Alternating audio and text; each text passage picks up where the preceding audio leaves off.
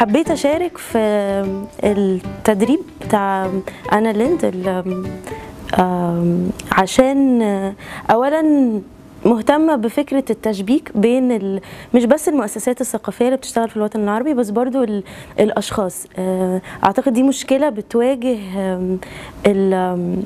المجتمع المدني آه، بشكل عام آه، يمكن في المنطقة العربية إن في حاجات كتير قوي بتخلق بت- بتبدأ وبتنتج عمل مبهر. وخاصة في المرحلة اللي إحنا فيها دلوقتي مع كل التغييرات السياسية. إنما مشكلة من أهم المشكلات إن إن في تقصير في التشبيك ما بين إيه الحاجات اللي بتتم. لأن ممكن يبقى في كتير قوي بيتم في أجزاء مختلفة من الوطن العربي و- وبصور مختلفة واستخدام استخداما لأدوات مختلفة أدوات فنية مختلفة. إنما لو ما فيش تراكم لده آه، مفيش توثيق لده بيبقى ال- النتيجة بتبقى بتبان ضعيفة للأسف. فأعتقد كانت فرصة مهمة هنا في تدريب الفن من أجل التغيير إن تجمع بين عدد كبير إحنا 50 متدرب فأعتقد ده عدد كبير من الفاعلين الثقافيين في الوطن العربي إن هما واحد يتعرفوا على بعض اتنين يتناقشوا في مشاكلهم وإزاي ممكن يطوروها في السياق ال- العام ال ال للمجتمع المدني عامة في الوطن العربي.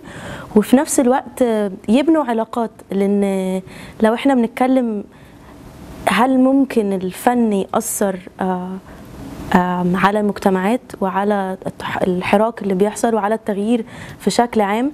فالتغيير بيحصل من الأشخاص وال- والأشخاص بتتغير من وجهات نظر ومن الحوار.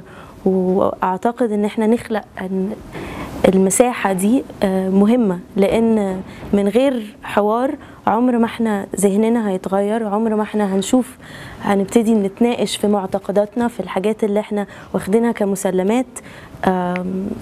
وبعدين بتغيير البني آدم بيجي تغيير ال- البيئة اللي حواليه ال ال ال إن كانت بيئة عمله أو ال- البيئة أو بيته وهكذا. وبعدين ده بي بيترتب عليه تغيير في المجتمع ككل.